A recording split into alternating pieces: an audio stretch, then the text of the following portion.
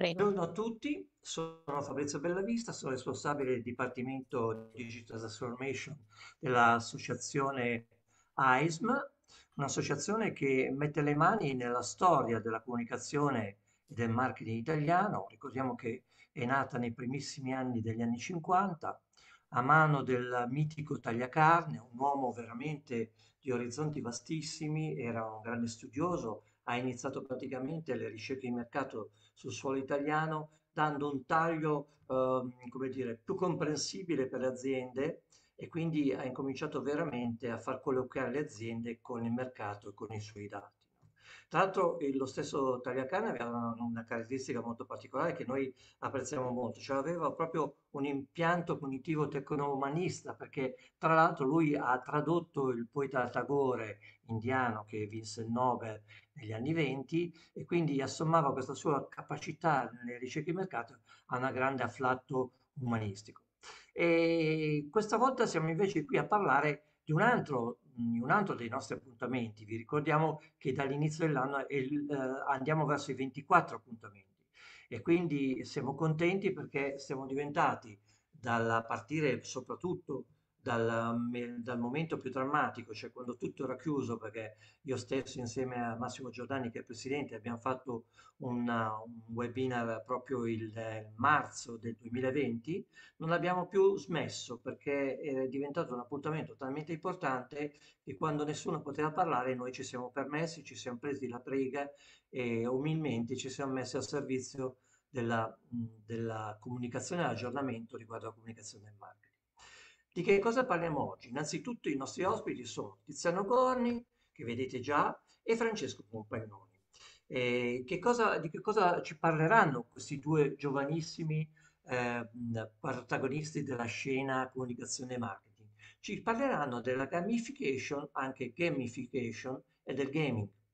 Eh, voi sapete che il gaming è un mercato che è diventato tre volte tanto quello del cinema, quindi è un mercato che forse noi in Italia ancora non abbiamo una percezione di quanto è diventato importante e trasversale a tantissime situazioni, metaverso compreso. Eh, con Francesco e Tiziano andiamo ad analizzare bene che cosa ci può dare all'interno di una strategia ovviamente di marketing. Mi confermi Tiziano, cioè non, fare degli spot, fare degli interventi spot, oh che bello questo giochetto, oh che bello, mi sembra che non è questo che facciate voi, giusto? No, assolutamente. No, assolutamente, noi ci occupiamo di quello che è eh, integrare il gioco all'interno di quello che sono le strategie aziendali, quindi senza mai andare a um, dividere quello che è il brand da quello che è la sua, la, la sua missione. A tal proposito, magari coinvolgo di più Francesco che eh, può aiutarci, diciamo, di più in tal senso. Eh, sì, eh, infatti appunto il nostro obiettivo in quanto azienda è fornire degli strumenti che non vadano, diciamo, a porsi semplicemente in parallelo a, a, agli, agli, strumenti di marketing che già un'azienda prende e, e che utilizza ma vogliamo in realtà integrarci in maniera più, eh, diciamo, uniforme con il resto della, del, degli strumenti appunto a loro disposizione e offrire una soluzione eh, mirata su certi temi che possa andare a offrire eh, la, gli obiettivi, che possa andare a raccogliere gli obiettivi eh, previsti attraverso uno strumento innovativo appunto, eh, quale la gamification. Ecco, date voi allora la vostra presentazione così possiamo vedere la, la vostra visione. Sì. Ehm, appunto, come anticipato, eh, la presentazione di oggi si occuperà di gamification e gaming. Eh, diciamo, in partenza eh, cerchiamo magari di mh, eh, dare una differenza tra i due ambiti e capire di cosa effettivamente stiamo parlando e come questi strumenti possono aiutarci eh, a comprendere la scena moderna o comunque in generale aiutare eh, il marketing eh, che si sta, i no- nuovi strumenti di marketing che si stanno sviluppando giusto in questi eh, ultimi anni. Eh, prima di tutto eh, occorre sottolineare quali sono ehm, gli effetti principali che possiamo andare a misurare a seguito di strategie di gamification e a volte anche di, di gaming. E in particolare si parla di appunto retention, brand awareness e engagement. Eh, retention nel senso che creare sistemi eh, che utilizzano la gamification può andare appunto a migliorare la, quello, che, quello, che, è il ritorno dell'utente proprio in seguito ai meccanismi che normalmente i giochi utilizzano, come poi vedremo nel resto della presentazione. Brand awareness è perché eh, gli strumenti che vedremo impiegati anche nei casi studio in seguito sono comunque strumenti ancora, eh, ancora ad uso limitato, nel senso che non tutte le aziende le stanno introducendo e quindi aiutano a distinguersi e spiccare rispetto alla competizione. E a livello di engagement invece penso che sia proprio il punto forte del, per quanto riguarda il gioco e i meccanismi di gioco e, e quindi è proprio la, il, il, punto in cui più di tutti questo tipo di strategie possono andare ad aiutarci. Ehm, ora cerchiamo di capire magari eh, in, modo migliore cosa significa, eh, cos'è il mondo del gaming. Come già anticipato, appunto è un mercato in assoluta crescita. Eh, I videogiochi, eh, come vediamo, l'Italia è il nono posto mondiale a livello di fatturato eh, per quanto riguarda il, i, i, videogiochi ed è un mercato in, in assoluta crescita. Si, si, stima che anche nei prossimi anni si arrivi a toccare 3, 3 miliardi in certe, in certe, previsioni, se non di più in altre. Questo, questo, è un indice diciamo, importante per capire quanto l'interesse del pubblico sia eh, ormai già sviluppato su, su questo mondo. Eh, rimane però comunque un preconcetto, diciamo che è quello del, del gamer. Eh, infatti, quando si pensa al gamer, normalmente si pensa a eh, una Gen Z o millennial che sostanzialmente gioca a giochi su console o magari addirittura partecipa a, appunto a streaming su Twitch, quindi si ha una, un'immagine eh, circoscritta di quello che è il gamer. La verità è che, che ci raccontano i dati è che non è così, eh, così ristretto questo, questo, settore, soprattutto grazie a, all'arrivo del, del mobile eh, nel mondo del gaming, che ha aperto le porte a un target molto più ampio, di età molto più eh, bilanciate all'interno dello spettro, sempre di più eh, anche over 50 stanno approcciandosi al mondo del, del videogioco. Quindi eh, diciamo la prima barriera che viene spesso eh, posta davanti game, a processi di gamification, che è quella del ma il mio target non, non apprezza o non utilizza questo tipo di strumenti, eh, può essere in realtà superata grazie a, ai dati che già, già, oggi ci raccontano una storia diversa.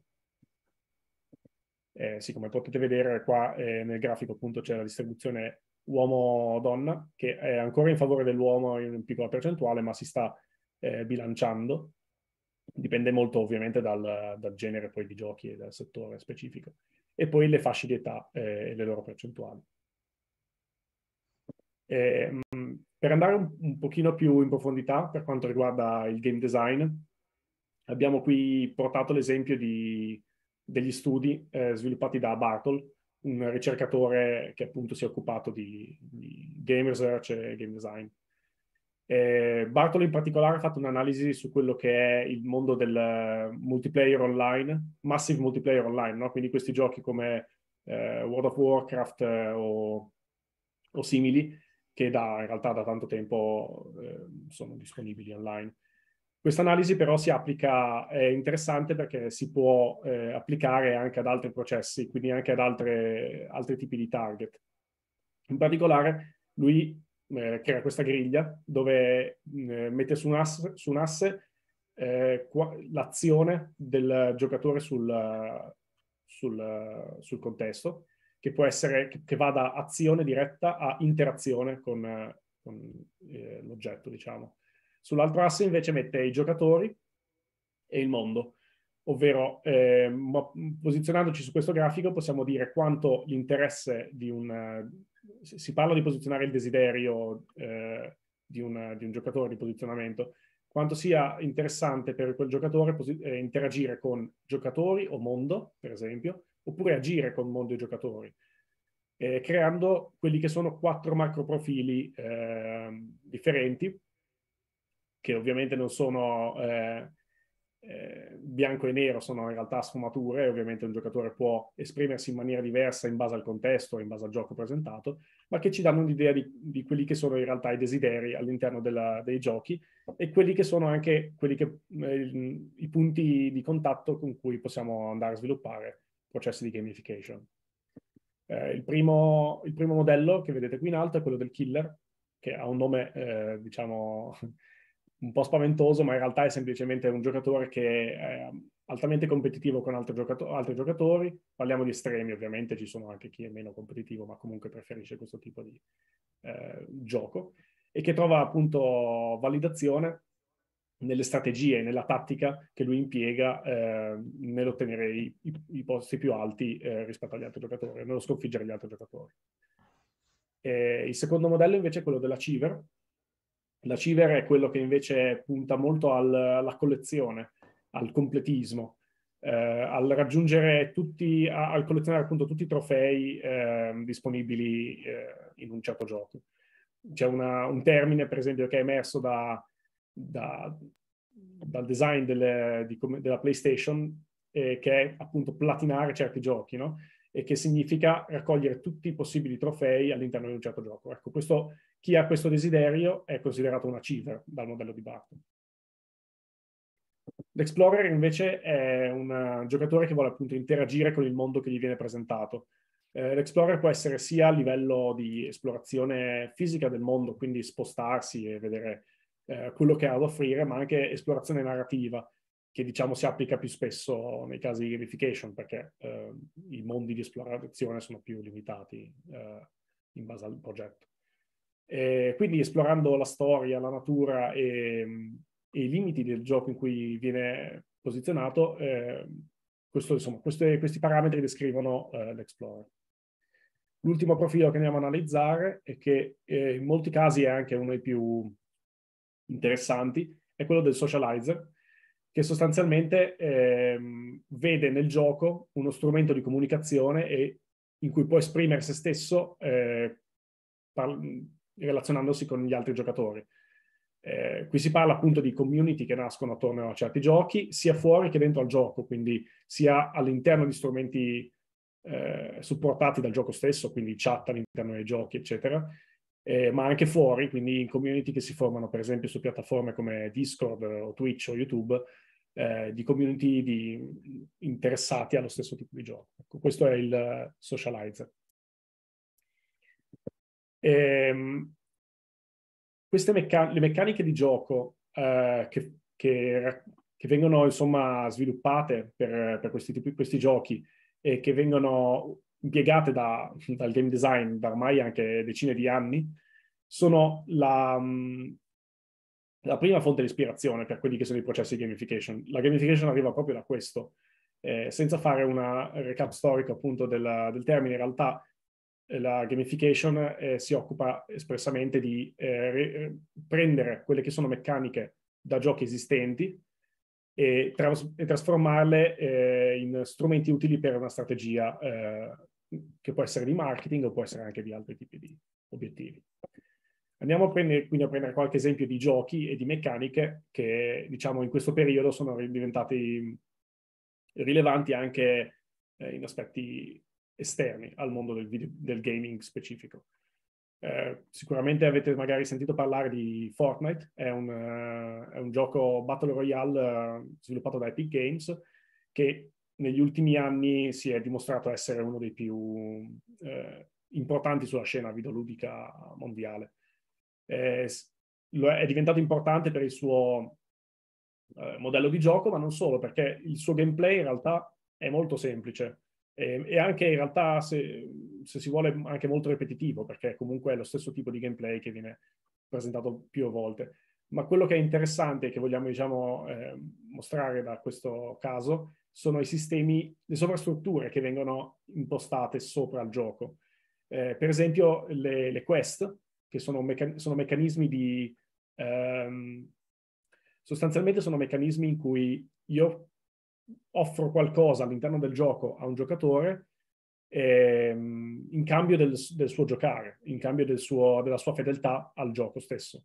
Eh, sono un meccanismo di retention e che, viene, appunto, che può essere impiegato anche all'esterno di, di giochi stessi, no? quindi offrire delle milestones a breve, medio e lungo periodo, quindi può essere giornaliere, settimanali e, e anche senza scadenza, di dimensione variabile, e che quindi vanno a premiare i giocatori che ritornano a giocare che eh, si dedicano a, al gioco. Un altro sistema che ha fatto esplodere, diciamo, Fortnite è il sistema di eh, cosmetici all'interno del gioco, ovvero per esempio skin dei personaggi, quindi diciamo versioni alternative del personaggio che viene utilizzato e altri elementi come possono essere badge, banner e così via. Questo tipo di acquisti cosmetici non solo hanno creato un sistema economico più sostenibile all'interno dei giochi, allontanandosi da quello che era eh, loot box e sistemi di, eh, diciamo, premio casuale più vicini al, uh, scomm- al mondo delle scommesse, ma eh, crea una profondità al gioco e quindi anche a sistemi di gamification che vuole essere esplorata dai giocatori, sia dal punto di vista di, punto di, vista di chi è achiever, da un lato, che in realtà dal punto di vista chi è explorer, ma in base a come vengono distribuite può essere anche in altri casi, ovvero per esempio un, eh, può essere consegnato una, un cosmetico per um, le qualità di gioco e quindi andare a premiare un killer in questo caso. Un altro esempio, eh, sempre in, in, questo caso a livello mobile, eh, Brawl Stars è un gioco sviluppato da Supercell, una compagnia finlandese, e quello che voglio presentare da parte di Brawl Stars in realtà è un sistema di classifiche che allo stesso modo che credo sia uno dei più lampanti per quanto riguarda gli strumenti, gli strumenti, che possono essere portati dalle meccaniche di gioco alla gamification, nel senso che in particolare nel caso di Brawl Stars, ma come in realtà molti altri giochi, eh, presenta dei sistemi di classifica sia competitiva con altri giocatori, in cui io pre- comparo, comparo i miei risultati con quelli degli altri, che personale in cui semplicemente crea un sistema di progressione eh, su vari livelli, eh, quindi con varie diramazioni, eh, su cui posso andare a sviluppare il gioco. E, e, come, e, come, gli achievement, anche questi sono un sistema di eh, engagement e retention. Un altro esempio di achievement ehm, è quello di Pokémon Go. Anche Pokémon Go è un gioco che ha sempre mobile, che, ha fatto, che è esploso negli ultimi anni, e che eh, in particolare presenta un interessante sistema di, di achievement eh, che appunto si sviluppa su eh, missioni semplici che posso realizzare in un giorno, ma che a, con, con la progressione nel gioco posso andare a migliorare, quindi aumentare di eh, livello questi achievement. Eh, la cosa interessante, oltre al sistema di achievement di Pokémon Go, è appunto anche l'utilizzo del GPS eh, nei giochi mobile, quindi della location, che ha creato un sistema di realtà aumentata molto interessante che eh, già diverse compagnie hanno comunque provato a riutilizzare eh, per, um, per, appunto coinvolgere anche a livello fisico, eh, non solo virtuale, eh, i propri utenti e, e giocatori. E, ehm, Ora quindi cerchiamo di vedere quali sono magari alcuni casi in cui queste meccaniche sono state portate da, dal mondo del gioco eh, al mondo invece della, del business e quindi del marketing in certi casi. Eh, un esempio è la, la run-up di Nike, eh, dove ha utilizzato il processo, per esempio, vedete la schermata degli achievement di, del, del, gioco, del gioco, del, del sistema, che sostanzialmente propone un uh, modo di gamificare la corsa, eh, che spesso è l'output del, del business di, di Nike, e, e, attraverso i risultati che ottengo in, questa, in quest'app, eh, io posso andare a convertirli in quelli che sono sconti o, o comunque rewards all'interno del, del mondo di vendita di Nike. Quindi in base a certi achievement che ottengo nell'app posso ottenere alcuni sconti per quello che sono invece le, i prodotti stessi Nike, quindi altre scarpe, creando quindi un circolo chiuso di quello che è la vendita, ma anche l'utilizzo stesso dei suoi prodotti, ehm, creando quindi un rapporto stretto con, con i suoi clienti. Un altro esempio invece è quello di Twitch, la, una piattaforma, per chi non la conoscesse, una piattaforma eh, abbastanza famosa di streaming, eh, diciamo un competitor di YouTube, eh, dove appunto questi streamer ehm, eh, mostrano magari gameplay dei giochi a cui stanno giocando o, o, altri tipi di attività. Ecco, una cosa interessante che fa Twitch è per coinvolgere eh, al meglio i, i, suoi streamer, quindi i suoi content creator, quello che fa è creare un sistema gamificato eh, dello, per diventare streamer, soprattutto perché sa che la parte più complessa per mantenere gli streamer è quella dei, dell'inizio, dove eh, magari lo streamer di per sé non si sente appagato dai numeri bassi che vengono mostrati i primi giorni necessariamente. Crea quindi un, sistema di quest e achievement all'interno della, della piattaforma che aiutano lo streamer a, a, superare questi momenti difficili e quindi andare verso una partnership più lunga con, con il servizio. Eh, quello che possiamo trarre da questi esempi, da questo, da questo mondo, quindi che la gamification può essere, può essere spesso applicata come sovrastruttura, non solo quindi eh, come risposta attraverso lo sviluppo di giochi completamente nuovi brandizzati da parte del, di un'azienda, ma può essere una sovrastruttura a sistemi già esistenti o comunque a flussi e scenari già esistenti, andando a inserire quelli che sono elementi testati all'interno del mondo del, del gaming. Questi sono per esempio sistemi di progressione, soft currency, ovvero eh, monete diciamo, che possono essere spese per ottenere dei, dei reward da, dall'azienda stessa, o sistemi di feedback che sono in particolare, forse ne parlerà Tiziano, un sistema più eh, attraverso il quale non solo ottengo ehm, i benefici che sono stati elencati prima, ma ottengo anche la, qual- la qualità di questi, dei, dei, miei strumenti, quindi quanto effettivamente sta funzionando il mio sistema. E in generale anche sistemi appunto di classifica e achievement possono andare a migliorare il, il, i prodotti e quindi la strategia come mostrato negli esempi precedenti. Ora lascio la parola a Tiziano che eh, vi elencherà invece alcuni case studies eh, riguardo all'ambito. Grazie Francesco. Allora, io volevo presentarmi diciamo, un po' i casi un po' più pratici, perché sono un po' dopo tanta teoria, diciamo, andiamo a vedere un po' uh, in cosa vengono usato, chi nel, nel, tempo ha deciso di implementare una strategia di gamification o di gaming, anche perché tante aziende hanno sviluppato i propri videogiochi stessi. Um, diciamo che la, una cosa importante da capire è che non basta mettere degli achievement, dei badge, delle classifiche a caso. Questa è una cosa che va detta e ripetuta. Non è um, perché possono essere addirittura controproducenti a quello che può essere l'immagine aziendale. Quindi questo è molto importante, soprattutto eh, se volete poi introdurre dei, certi sistemi dentro le vostre dinamiche di marketing. Allora, in questo caso adesso andiamo a vedere un po' um, diversi ambiti. Il primo, diciamo che è quello un po' più famoso che utilizza il mondo del, del, gaming e del gamification, che è molto affine, è il mondo luxury. Quindi possiamo andare a parlare di Barberi, Gucci, Hermes, eh, eccetera, eccetera, eccetera. Torno un attimo per cortesia, Francesco. Noi qua, con questo grafico qua, preso da Klarna, andiamo a vedere chiaramente che Gen Z e Millennials sono diventati i principali acquirenti del mondo luxury. Assolutamente, ma di gran lunga. Come potete vedere, i baby boomers ormai rappresentano solo più, uh, solo più il 18% dei baby boomers acquistano dal, dei brand luxury, mentre raggiungiamo dei picchi del 63% con i millennials, che siamo noi, la nostra generazione nata diciamo tra gli anni 80 e il 95. Addirittura Klarna stima che nel 2025 il 50% dei, prove- dei loro proventi arriverà dal, dagli under 25, persone che sono appena entrate magari nel mondo del lavoro o si appoggiano a, um, ai beni, a, diciamo alla, alla liquidità familiare.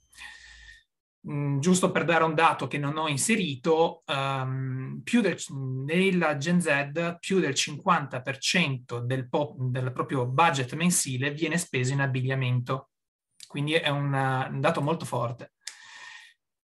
Adesso andiamo a vedere un po' cosa, cosa ha voluto fare Barberi nel 2019. Ha lanciato un gioco che si chiama B-Bounce. Consiste semplicemente nell'impersonare un cerbiatto vestito con un piumino griffato, quindi Thomas Barberi, e bisogna aiutarlo a raggiungere la Luna saltando su piattaforme sempre più alte, raccogliendo i vari loghi di Thomas Barberi e evitando nuvole nevose e tempestose. Quindi eh, il gioco chiaramente ha come scopo una lunga brand exposure per quanto riguarda il giocatore e la viralità sui social. E propone appunto questo, a questo punto diversi elementi tipici della gamification, quali la ricompensa immediata, perché quale premio abbiamo una GIF personalizzata, come potete vedere a destra, eh, con il piumino scelto e l'altezza raggiunta, che si può condividere chiaramente sui propri canali social. Abbiamo una parte di competizione, perché partecipando a Londra, in Giappone, che dagli Stati Uniti, è possibile giocare addirittura all'interno degli stessi store di Barberi e addirittura sui maxi schermi, quindi è un gioco live anche. E poi soprattutto è anche una questione di status, perché al termine del gioco, sca- scalando la classifica, è stata messa poi in palio una vera giacca completamente esclusiva e fatta per quella persona con il monogram Thomas Barberi. Poi eh, Gucci usa anche, ha fatto in realtà anche una, una collaborazione con, uh, con Minecraft, um, facendo addirittura del, un lancio di tre settimane fa circa, addirittura una linea di vestiti dedicata a tal proposito. Gucci invece ha un'intera eh, sezione del sito mh, mm, dedicata al mondo dei videogiochi. Loro utilizzano il termine good game, che sarebbe GG, che qua chiaramente richiama il monogramma del marchio Gucci Gucci. Eh, letteralmente good game vuol dire il, bella partita e chiaramente il, il saluto che tra gamers al termine appunto del gioco. Uh, all'interno dell'e-commerce si trovano prodotti specifici per il target, oppure di sponsorizzazione di prodotti come collaborazioni. Per esempio Xbox con la Gucci ha celebrato uh, i suoi vent'anni e Gucci i cent'anni. Quindi in questo caso i due mondi si sono, si sono fusi. Um, sempre dentro il sito di Gucci è possibile trovare i videogio- videogiochi Gucci Arcade, quindi uh, videogiochi uh, che richiamano gli anni 70-80 dove i giocatori possono immergersi con, all'interno del gioco chiaramente completamente brandizzato Gucci, quindi anche qui aumentando uh, a dismisura la brand exposure. Inoltre, oltre a queste dinamiche che genera, stringe partnership con squadre di e-sport. Adesso non so se avete sentito, ma insomma Fortnite è stato l'evento eh, più seguito, la finale di Fortnite sono stati gli eventi eh, più seguiti al mondo live, se non ricordo male, Francesco dimmi se sbaglio, però se non sbaglio avevo questo dato. E, um, utilizza il proprio brand all'interno di giochi di successo come i The Sims. Penso che ognuno di voi abbia sentito parlare, diciamo, negli anni passati di The Sims, che era un simulatore di, di vita nel quale si faceva crescere, diciamo, ipoteticamente un personaggio, un avatar. Ha rilasciato recentemente in Pokémon Go, eh, precedentemente, precedentemente citato da Francesco, un codice dove il giocatore eh, può andarlo a riscattare e uh, ottenere quindi un outfit esclusivo per il proprio avatar. Poi qui possiamo vedere anche Tennis Clash, dove loro hanno deciso di fare una brandizzazione addirittura dei campi da tennis e del vestiario. Chiaramente Tennis Clash è un gioco, un videogioco completamente online, multiplayer, nel quale i giocatori si possono affrontare sui, sui campi da tennis. In seguito, per abbandonare un po' il mondo luxury, se no abbiamo esempi ce n'è fino a domani mattina, Abbiamo il mondo dei trasporti, dove in realtà diciamo che è un po' universale il sistema di loyalty. C'è chi fa sistemi più semplici oppure sistemi leggermente più avanzati, come nel caso appunto di, conosciamo tutti, Trenitalia. Trenitalia eh, ha introdotto un po' tardivamente, in un certo senso, il, il, suo concetto di loyalty, però diciamo che non aveva grandi problemi di, um, di competitors a livello italiano tant'è che l'ha fatto solo nel 2007 con la carta viaggio, non so se vi ricordate, e prevedeva effettivamente solo esclusivamente una raccolta punti che si potevano riutilizzare per l'acquisto di biglietti o eventualmente poi in seguito inseriti uh, coupon di partner. Um, dopo pochissimi anni però si è resa conto che era totalmente insufficiente, anche e soprattutto con, la, um, con Italo che è entrato sul mercato, non, non, bastava più questa dinamica di reward semplice, anche magari uh, ispirata a quello che erano le compagnie aeree. E ha creato appunto il sistema più articoli di livelli, cioè l'attuale carta freccia. utilizza nel suo ticketing online ele- questo elemento di game design che è di per sé molto comune, ma molto efficace perché incoraggia i clienti a prendere parte al sistema di ricompensa. La barra di avanzamento eh, dei punti status mostra quanto sei vicino al livello successivo. Visualizzando i processi, il cliente potrà vedere quanto deve usare le frecce per spostarsi, anziché un mezzo privato o della concorrenza, soprattutto, per poter raggiungere lo status successivo. Un altro vantaggio è che la barra ehm, fornisce una gratificazione immediata, quindi noi abbiamo subito un resoconto di come stiamo mh, andando avanti, un sistema di feedback in, veramente immediato e innesca chiaramente una motivazione naturale per il progresso. Chiaramente il raggiungimento dello status porta con sé diverse benefit, quali l'upgrade della, ca- della classe, gli accessi alla riservata in stazione, la cancellazione gratuita e via discorrendo. Uh, parte del motivo per cui questo sistema di ricompensa è così efficace è che, mh, dovuta a una dinamica chiamata vincolo. Uh, la dinamica di vincolo nasce quando si blocca parti del sistema di avanzamento o si rivelano cose solo esclusivamente agli utenti più fedeli. Quindi io con la classe oro ho l'accesso alla, carta, alla freccia lounge, all'argento no. E soprattutto la scienza comportamentale ci spiega che la paura di perdere uno status è motivante tanto quella di, eh, nell'ottenerlo. Quindi n- le persone spenderanno sempre soldi o eh, impegno, diciamo, per mantenere lo status perché eh, lo sforzo che ci mettono è esattamente lo stesso perché, mh, mm, per ottenerlo. Mentre se ci spostiamo, diciamo, nel mondo un po' più uh, dell'editoria, uh, come appunto vedete, spesso investono in sezioni di game all'interno del, del, proprio sito, sia per migliorare magari la retention, sia per quanto riguarda l'immagine aziendale. E io ho portato, diciamo, tre casi in tal senso. Il primo è il New York Times, che diciamo è molto famoso perché quest'anno ha fatto, diciamo, un po'... Uh, il salto che un po' per tutti, diciamo.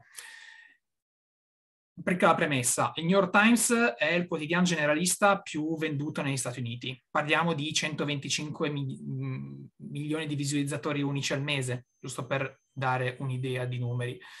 Tramite l'acquisto di Wordle però voleva incrementare l'user retention, quindi il fatto sì che la gente tornasse quotidianamente a visitare il sito, quindi non solo più per quanto riguarda eh, gli scandali o le notizie, diciamo, eh, più, più, corpose, quale potrebbe essere, non so, l'elezione di un presidente, ok, insomma, voleva far sì che la gente tornasse quotidianamente e generasse traffico. Quindi il 31 gennaio del 2022 eh, ha acquistato Wordle e ha ottenuto in, in, seguito un trimestre record sia in termini di visite che nuovi abbonamenti. Um, per darvi due numeri, insomma, a maggio, da, che quindi col primo trimestre attivo di Wordle, si parlava già di decine di milioni di nuovi visitatori sul sito, portati appunto dalla viralità del gioco. Ogni gio- il gioco è molto semplice perché è basato sul fatto che c'è da indovinare una parola di cinque lettere, cinque caratteri, uh, è scelta casualmente all'interno del database del gioco e il giocatore deve indovinarlo avendo a disposizione, come vedete, sei tentativi che do- chiaramente tutte le parole devono essere di senso compiuto eh, all'interno del dizionario, quindi non, non si può mettere una parola totalmente casuale, non lo so, raver, che non vuol dire nulla, bisogna mettere river. Parlando di numeri, uh, quello soprattutto che è stato normalmente vantaggioso è il numero di tweet che ne ha parlato. Uh, parliamo in un solo giorno hanno superato i 500.000 tweet che parlavano di Wordle. Chiaramente non, non, vi sono mai state social interaction in tal senso parlando di videogiochi, assolutamente mai successo.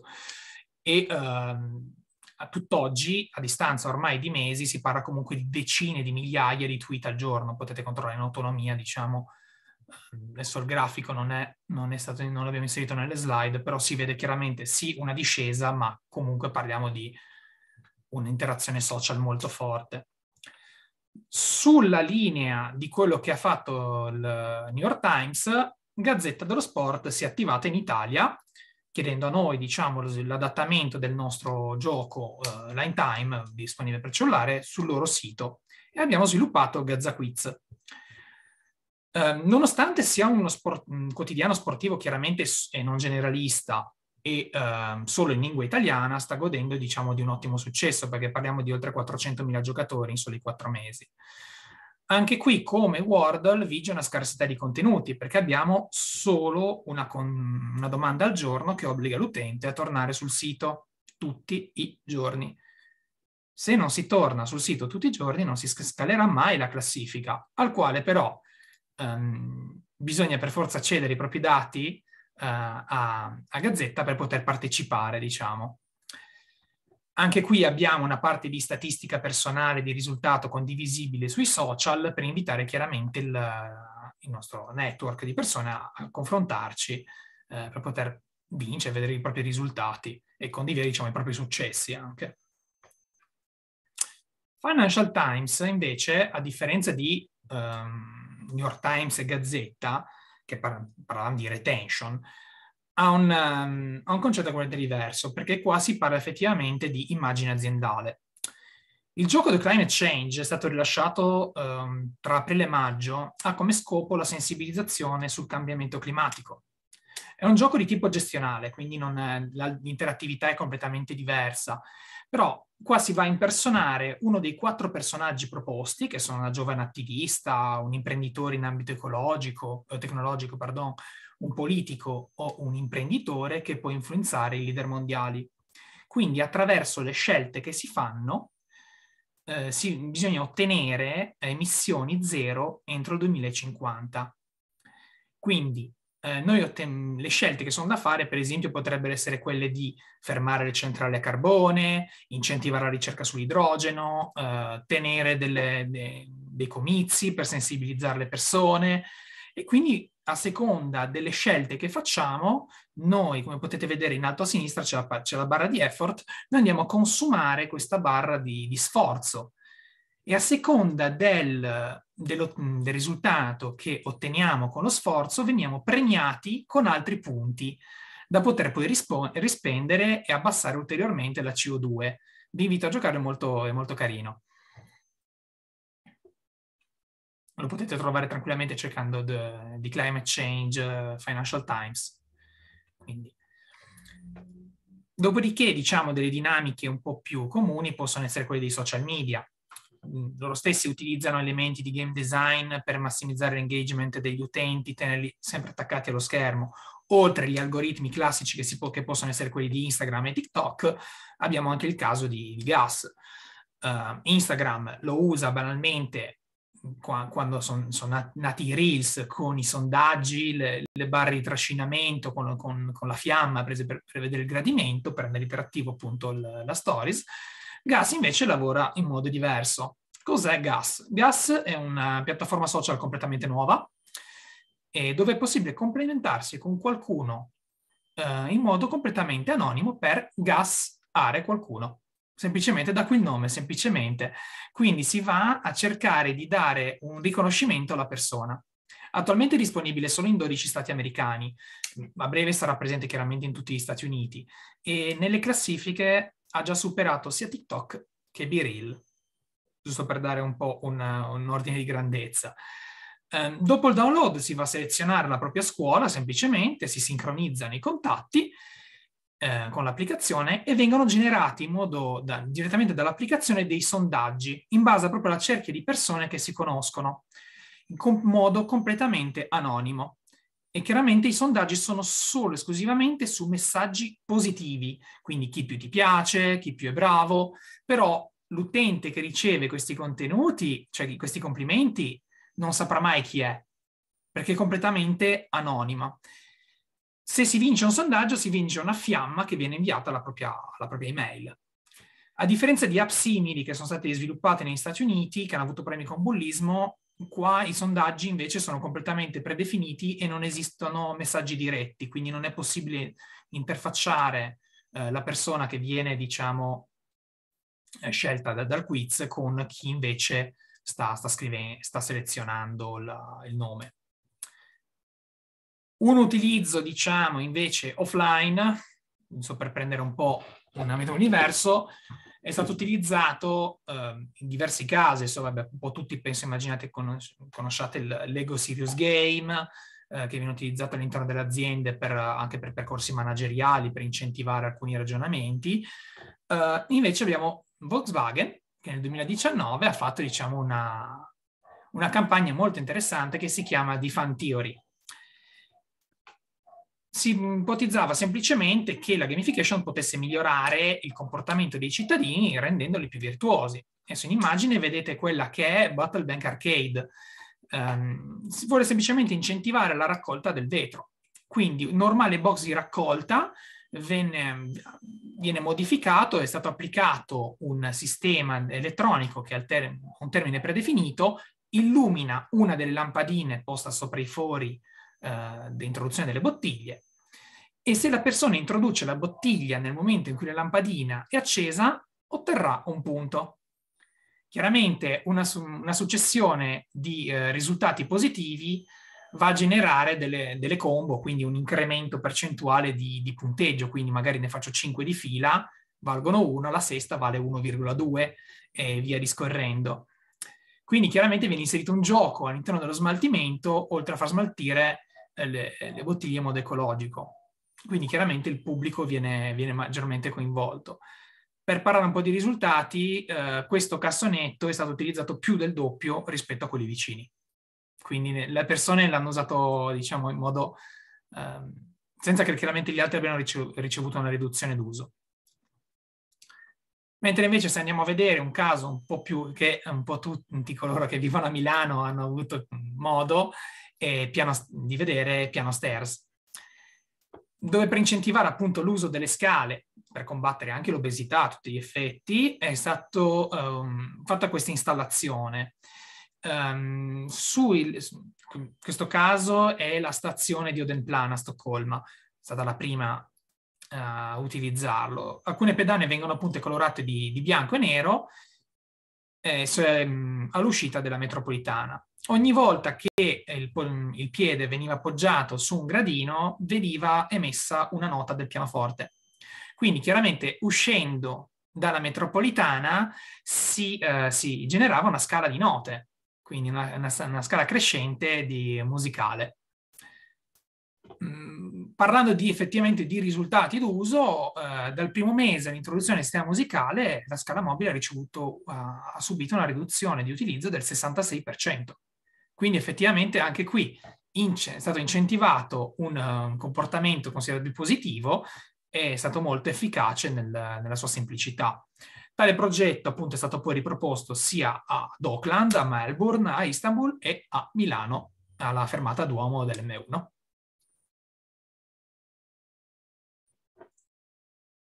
E con questo vi, vi ringrazio. Se avete delle domande potete scriverle direttamente in chat e vi rispondiamo volentieri. Fabrizio, sei mutato? Perfetto, domande e risposte chat.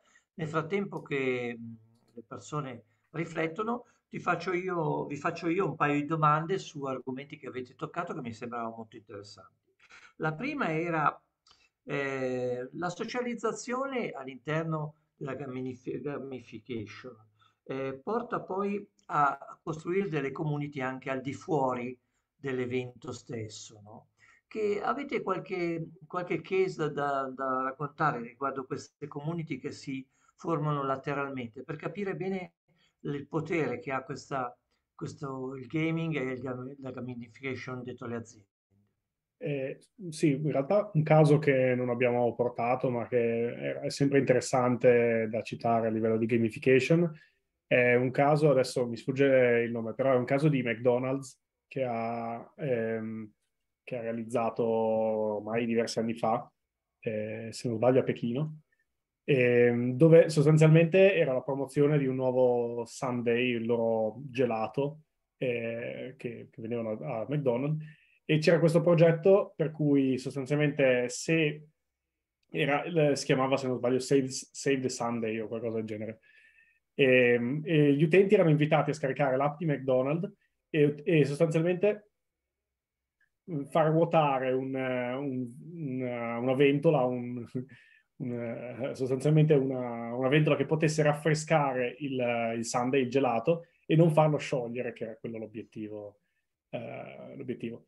E, questa cosa è diventata virale in fretta, soprattutto perché so, da soli non si poteva mai mh, evitare che, che, si sciogliesse questo Sunday.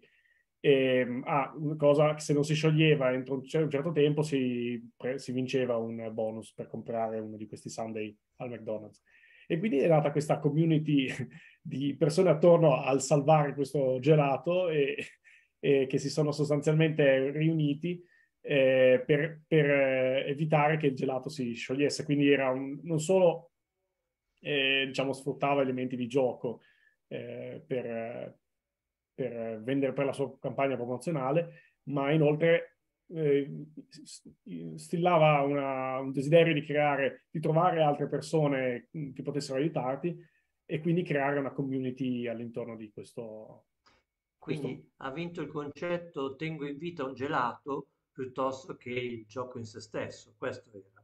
Esatto, esatto. Sostanzialmente quello non era tanto il gioco, non era tanto il ruotare la, la ventola, quanto piuttosto la, la, necessità di una comunità per salvare questo gelato. Quindi l'obiettivo veniva visto in una chiave eh, comunitaria piuttosto che in una chiave individuale. Interessante, molto interessante. E, riguardo a Fortnite, ho visto che avete fatto l'esempio, no? eh, possiamo accennare un attimo che Fortnite appunto è, stato, è diventato anche una, ha ospitato anche dei concerti, uh, famosissimo quello di Travis, no? con 14 milioni di user, anche se non erano contemporanei, mi sembra che erano divise per rooms perché non può tenere 14 milioni contemporaneamente. Eh, avete qualche elemento riguardo Fortnite che si apre oltre ai giochi avete, di cui avete parlato bene anche ad altre cose? Che, che significato sì. ha questa apertura? Eh, allora, qua secondo me questo è un, diciamo, un indice della um, pervasività del gaming eh, nel, nel, mondo di oggi.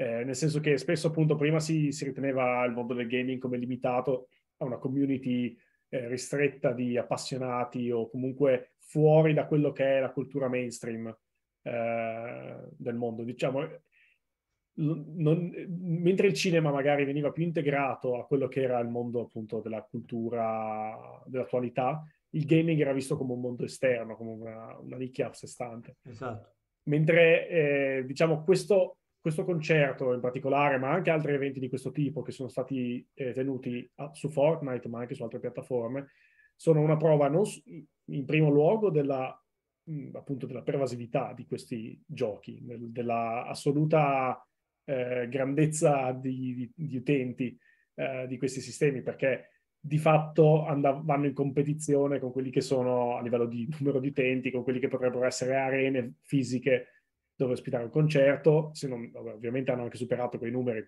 grazie proprio alla possibilità di essere online.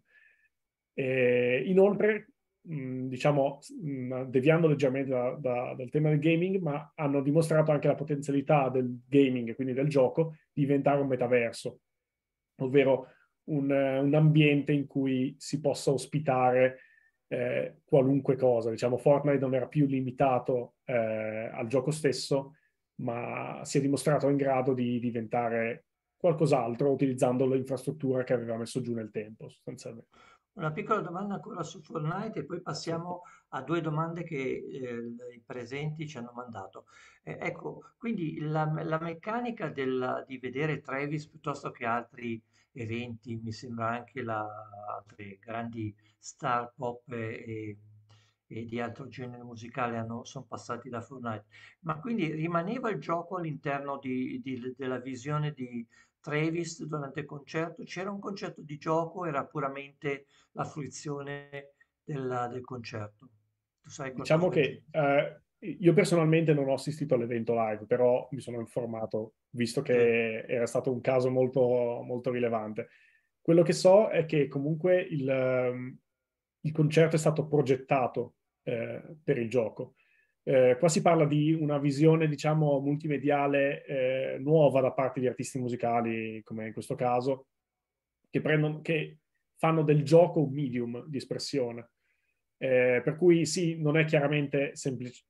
Diciamo, uno poteva anche realizzare la stessa, la stessa cosa semplicemente mettendo in sfondo o in sottofondo eh, la musica, ma da, appunto invece il concerto stesso faceva, si era andato a integrare con il mondo di gioco. Certo. Diciamo, non, non, non, si poteva replicare la stessa esperienza in, in un altro spazio, diciamo, era progettata per quello spazio.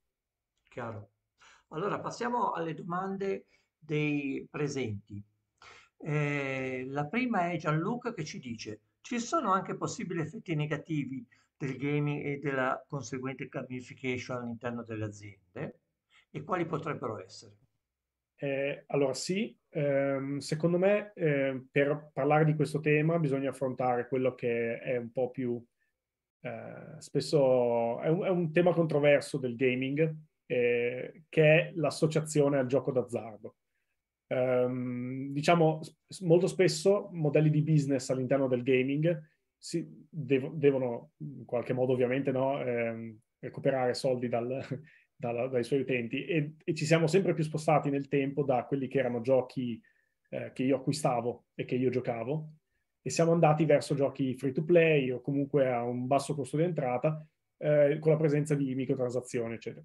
Ecco, anche i sistemi di gamification, soprattutto per progetti più lunghi, diciamo, mh, spesso non si parla di una semplice campagna di marketing, eh, diciamo, a durata limitata, ma quando si parla di un sistema, per esempio la Nike Run Up o altri, quando andiamo a integrare no, sistemi di, di, chance all'interno del, del, gioco, quando andiamo a, a sfruttare certi meccanismi eh, intrinsechi dell'essere umano, della nostra psicologia, che diciamo ci fa eh, in, in, modo quasi ossessivo ehm, alimentare questi giochi quindi no, andare a giocare in modo quasi compulsivo proprio perché io sfrutto no, meccaniche di azzardo e meccaniche che appunto eh, le scommesse hanno già sfruttato da tempo. Ecco, secondo me quando si vanno a implementare questi sistemi, per dirne uno molto famoso sono le loot box, no? queste scatole misteriose che si aprono in certi giochi e che ci possono dare un numero casuale di rewards quando si vanno a implementare sistemi simili si possono avere dei rischi ehm, per quello che è, insomma, la qualità del, del tipo di rapporto che vado a instaurare, no? anche a livello di, di immagine stessa del, dell'azienda. Eh, questo ci possono essere probabilmente altri rischi che in questo momento non eh, vengono in mente, ma questo secondo me è uno degli esempi più concreti. Ecco, eh, per, per ritorno al far, al fare attenzione quando si vanno, quando va iniziato attenzione alle dinamiche che si vogliono inserire perché possono essere controproducenti. Quindi... Ecco, eh, Tiziano e Francesco, avete toccato un argomento che è molto sentito dall'associazione eh, AISMA. Abbiamo fatto due convegni, lo sapete, negli ultimi due mesi riguardo l'etica digitale, che ovviamente investe tutti i campi e anche il vostro. Eh, a questo ci permette di ricordare che la transizione digitale, la, la, digital transformation, ha veramente tante voci. No? Una di queste voci è il, il, la gamification, e però per tutte le voci che compongono una strategia, e sono tantissime, lo sappiamo e saranno sempre di più, eh, è necessario riportare il senso dell'umano all'interno di queste cose, cioè non, non farsi prendere la mano dalla tecnologia per la tecnologia, ma usare sempre la tecnologia in funzione di qualche cosa. È ovvio che anche usando la tecnologia in funzione di qualche cosa si può fare degli errori e si può commettere degli sgarbi dal punto di vista etico, permettetemi le virgolette, ma è certamente più giustificabile perché è all'interno di un ragionamento umano, no? in cui magari si è sbagliato qualche cosa, ma è, e non è tanto l'usare tutta la tecnologia che adesso abbiamo a disposizione, che è veramente infinita, eh, per la tecnologia, cioè in modo che la tecnologia diventi la cultura e non la cultura che si arricchisce con la tecnologia. Questo è un po' il pericolo che stiamo vivendo in questo momento. La tecnologia sta diventando la cultura imperante, ma non è, non è cultura la tecnologia.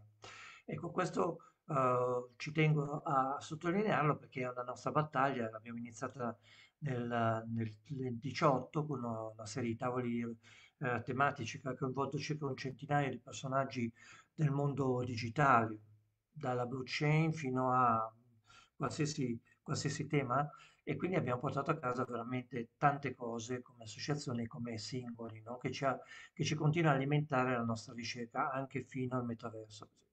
Un'altra domanda interessante, questa volta di Giorgio Gandellini, più uh, focalizzata invece proprio sul business, e dice esattamente, ciao, avete esperienza di applicazione dei videogiochi alle business simulation interattive fra squadre di partecipanti in competizione?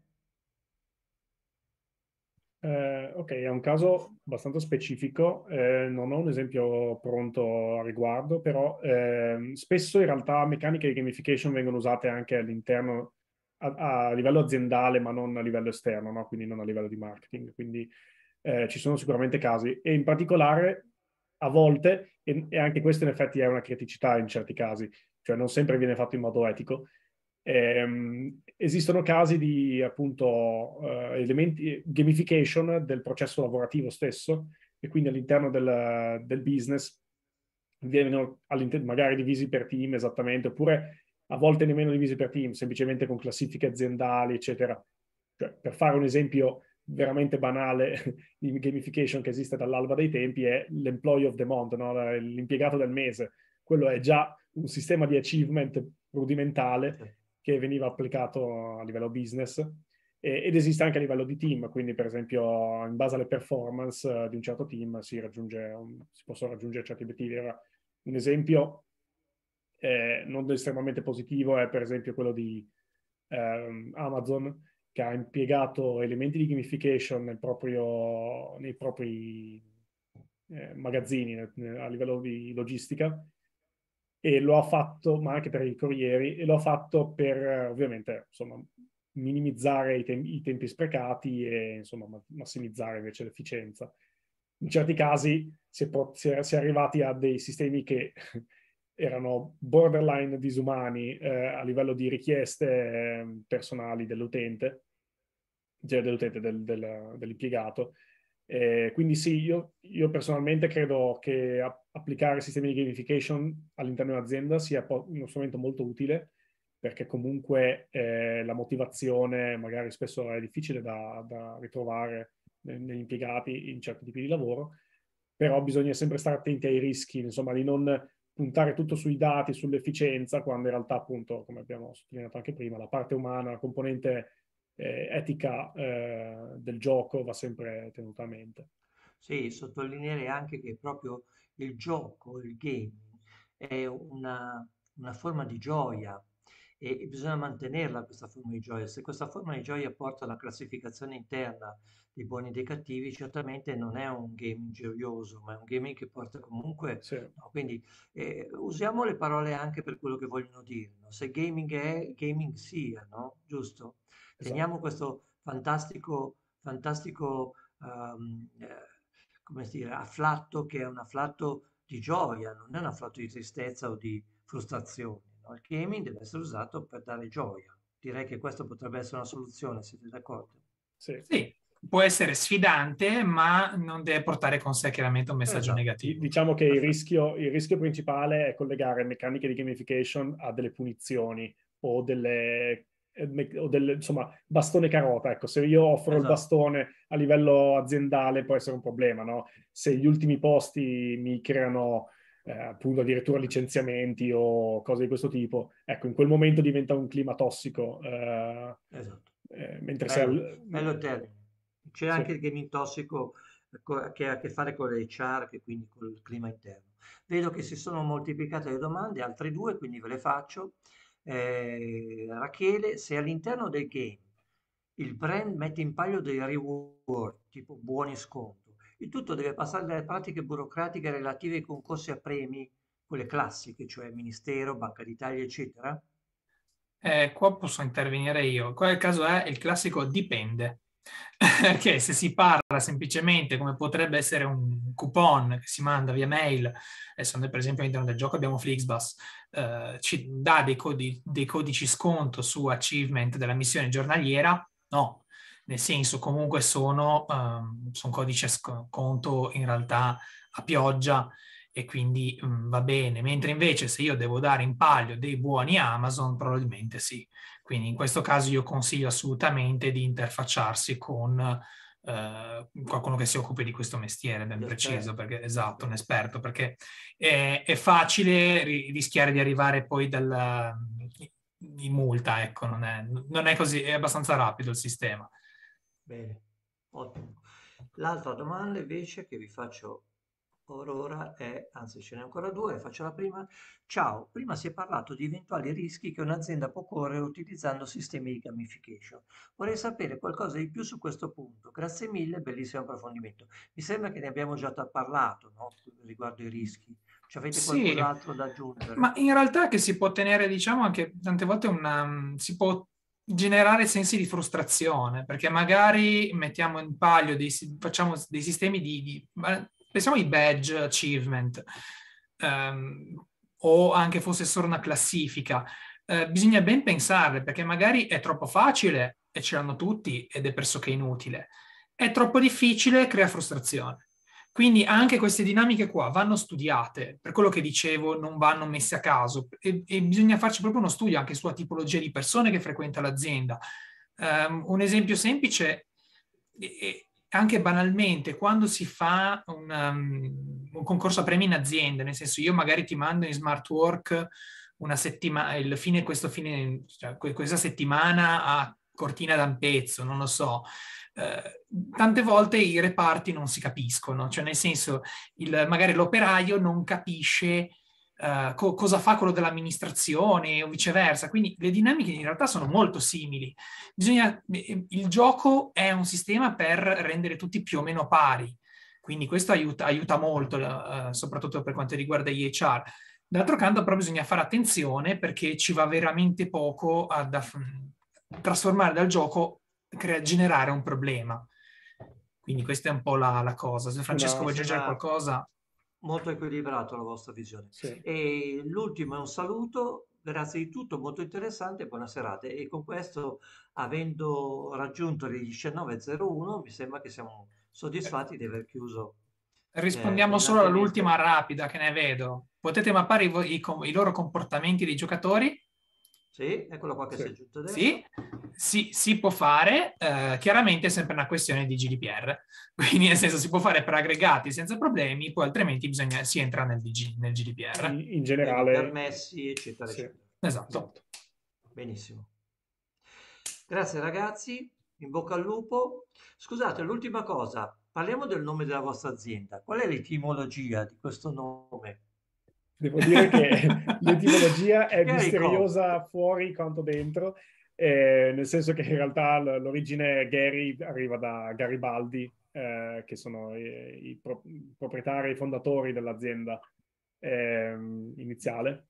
E devo dire che ho fatto divertente, ho chiesto anch'io questa stessa domanda e non, nemmeno il fondatore ha detto ma perché l'avevamo scelta la seconda parte? In effetti... Quindi Però dubbio... Gary abbiamo trovato una delle radici. Eh, abbiamo, abbiamo il 50%, sì. Okay. Grazie allora, grazie a tutti i partecipanti. Naturalmente vedete che ci sono in chiaro tutte le possibilità per contattare ancora eh, Tiziano e Francesco che saranno felicissimi di rispondervi e quindi vi ricordo che rimarrà comunque eh, fruibile eh, dalla pagina Facebook eh, questa, questa bellissima conversazione che abbiamo fatto e quindi un saluto a tutti e una buona fine giornata. Grazie ancora. Grazie. Ciao ciao. Ciao, ciao a tutti.